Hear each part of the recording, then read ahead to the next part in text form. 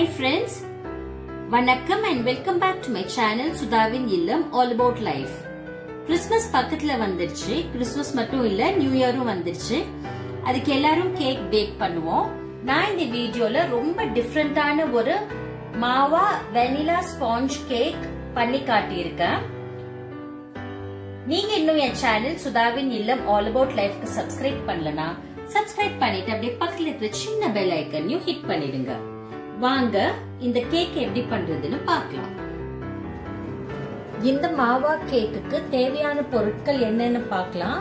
First curds தயிர் ஒரு two fifty ml அப்புறம் சுகர் வந்து ஒன் ஃபிஃப்டி கிராம்ஸ் அப்புறம் ஆயில் வந்து நைன்டி எம்எல் இது எல்லா இன்க்ரீடியன்ஸும் ரூம் டெம்பரேச்சர்ல இருக்கிற மாதிரி பார்த்துக்கோங்க. அதனால கேக் பண்றதுக்கு முன்னாடி ஒரு ஹாஃப் ஹவர் முன்னாடியே எடுத்து வெளியில வச்சிடுங்க. மைதா டூ ஹண்ட்ரட் கிராம்ஸ் எடுத்திருக்கேன். மாவா செவன்டி ஃபைவ் கிராம்ஸ் எடுத்திருக்கேன். பேக்கிங் சோடா ஹாஃப் டீஸ்பூன் எடுத்திருக்கேன். பேக்கிங் பவுடர் ஒன்னேகால் டீஸ்பூன் எடுத்திருக்கேன். ஏலக்காய் பவுடர் நான் ஒரு டீஸ்பூன் எடுத்திருக்கேன். அப்புறம் வெண்ணிலா எசன்ஸ் இதுதான் வேற தேவையான வேற இன்கிரீடியன்ஸ் இப்ப கேக் எப்படி பண்றதுன்னு பார்க்கலாம். இப்ப நம்ம ஒரு போல்ல கர்ட்ஸும் சுகரும் ஆட் பண்ணி நல்லா மிக்ஸ் பண்ணிக்கலாம்.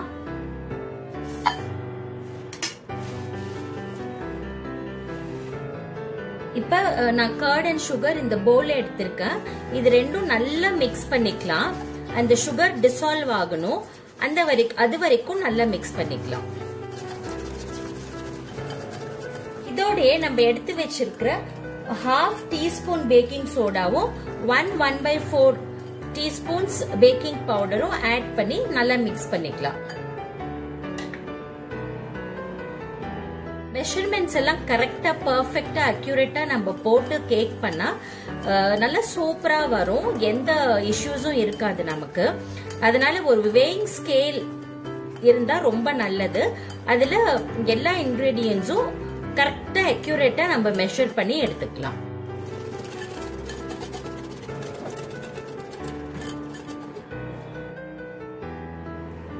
இப்போ இதை பார்த்தீங்கன்னா நல்லா மிக்ஸ் பண்ணிட்டோம்.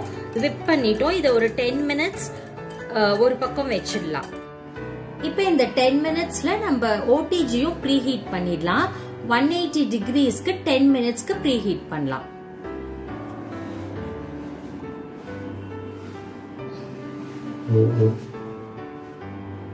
பாத்தீங்கன்னா ஒன் எயிட்டி டிகிரிஸ் வச்சிருக்கேன்.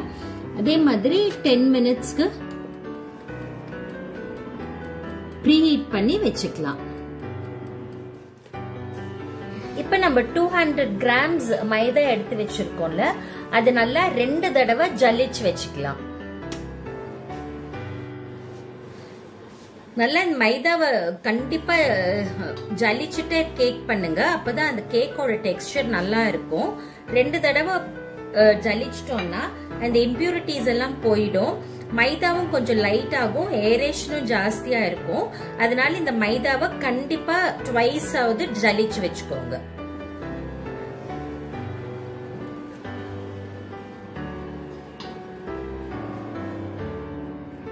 இப்போ பார்த்தீங்கன்னா curd sugar baking soda baking பவுடர்லாம் ஆட் பண்ணி டென் மினிட்ஸ் ஆச்சு.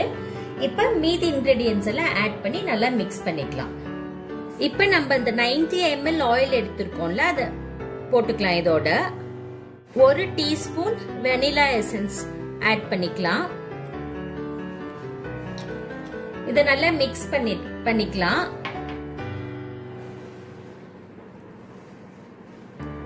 எல்லா காம்பனன்ஸும் எல்லா இன்கிரீடியன்ஸும் நல்லா ஒன்றா ஆற வரைக்கும் நம்ம மிக்ஸ் பண்ணணும். ஆயில் இதோட நல்லா மிக்ஸ் ஆகி நல்லா பிளெண்ட் ஆகிடணும் அது வரைக்கும் மிக்ஸ் பண்ணிக்கலாம். இதோட நம்ம எடுத்து வச்சிருக்கிற செவன்டி ஃபைவ் கிராம்ஸ் மாவாவை ஆட் பண்ணி நல்லா மிக்ஸ் பண்ணிக்கலாம்.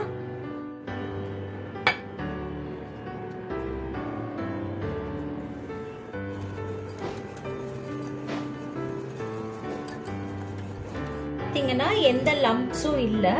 இப்போ இதோட நம்ம மைதாவை ஆட் பண்ணிக்கலாம். இப்போ இந்த பேட்டருக்கு நம்ம ஜலிச்சு வச்சிருக்கிற மைதா டூ பேட்சஸ் ஆட் பண்ணிக்கலாம்.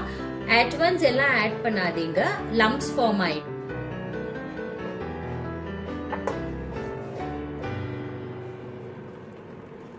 இதோட நம்ம எடுத்து வச்சிருக்கிற ஏலக்காய் பவுடரும் ஆட் பண்ணிக்கலாம். இப்ப செகண்ட் பேட்ச் மைதாவும் போட்டு நல்லா மிக்ஸ் பண்ணிக்கலாம். இது சும்மா மிக்ஸ் தான் பண்ணணும். ரொம்ப விகரஸா விப் பண்ணக்கூடாது. எப்பயும் ரிமெம்பர் பண்ணுங்க. மைதா ஆட் பண்ணப்புறம் ஃப்ளார் ஆட் பண்ணப்புறம் ரொம்ப விகரஸா நம்ம எப்பயுமே விப் பண்ணக்கூடாது. சும்மா மைல்டா அது எல்லாம் மிக்ஸ் ஆகிற வரைக்கும் சும்மா கட் அண்ட் ஃபோல்ட் மெத்தட்ல மிக்ஸ் பண்ணா போதும்.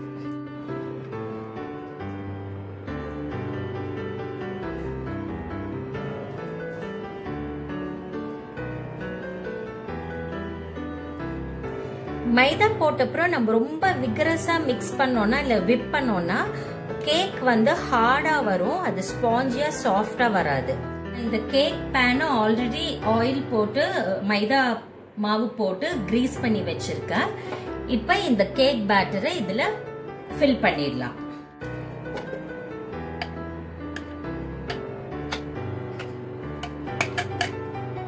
பேனில் நம்ம ஃபில் பண்ணிட்டோம். அதை எப்படி லெவல் பண்றதுக்கு கொஞ்சம் ஷேக் பண்ணி விட்டுடலாம். ஷேக் பண்ணிட்டு மை ஓடிஜியும் டென் மினிட்ஸ்க்கு ஒன் எயிட்டி டிகிரிஸ்ல ஹீட் ஆயிருக்கு. இப்போ இதை ஓடிஜிக்குள்ள வச்சிடலாம். இப்போ ஓடிஜில ஒன் எயிட்டி டிகிரிஸ்ல வச்சிருக்கேன் ஃபார்ட்டி மினிட்ஸ்க்கு வச்சிருக்கேன் ஃபார்ட்டி மினிட்ஸ் கழிச்சு இது எப்படி பேக் ஆகுதுன்னு பார்க்கலாம். இப்போ பாருங்க எனக்கு ஃபிஃப்டி மினிட்ஸே ஆச்சு கேக் பேக் ஆக. எவ்வளோ நல்லா பேக் ஆயிருக்கு. கொஞ்சம் கூட இது ஒட்டிக்கவே இல்லை. இவ்வளோ நல்லா இருக்கு பாருங்க. இப்போ இந்த சைட்ஸ் எல்லாம் ரிலீஸ் பண்ணி எடுத்து பார்க்கலாம். இப்போ பார்த்தீங்கன்னா உங்களுக்கே தெரியும் கேக் எவ்வளோ அழகாக பேக் ஆகிருக்கு டெக்ஸ்டரும் பார்த்தாலே நல்ல ஸ்பாஞ்சியாக சாஃப்டாக இருக்கு. இப்போ இந்த ஒயர் ரேக் மேலே இது கொஞ்ச நேரம் கூல் ஆகட்டும்.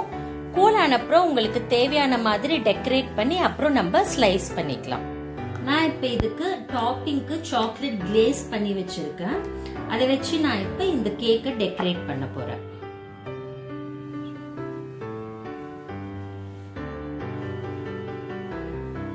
இந்த மாதிரி நான் வந்து இந்த சாக்லேட் கிளேஸ் வச்சு நான் டாப்பிங் டாப்பிங் பண்றேன் கேக்குக்கு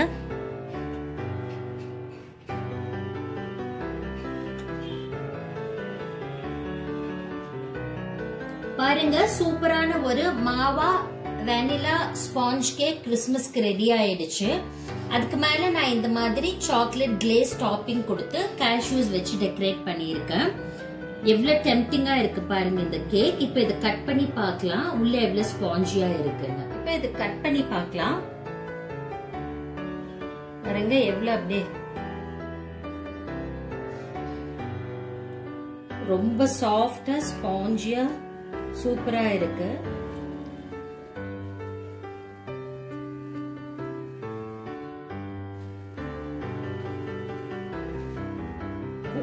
உங்களுக்கு இந்த கேக் ரெசிபி ரொம்ப பிடிச்சிருக்கும்னு நினைக்கிறேன். பிடிச்சிருந்தா வீடியோவை லைக் பண்ணுங்க கமெண்ட் பண்ணுங்க ஷேர் பண்ணுங்க. அப்படியே என் சேனல் சுதாவின் இல்லம் ஆல் அபவுட் லைஃப்க்கு சப்ஸ்கிரைப் பண்ணிட்டு பக்கத்துல இருக்க சின்ன பெல் ஐக்கனையும் ஹிட் பண்ணிடுங்க. தேங்க்ஸ் ஃபார் வாட்சிங் Stay tuned to Sudhavin Illam All About Life. Bye till we meet again with many more interesting informative videos.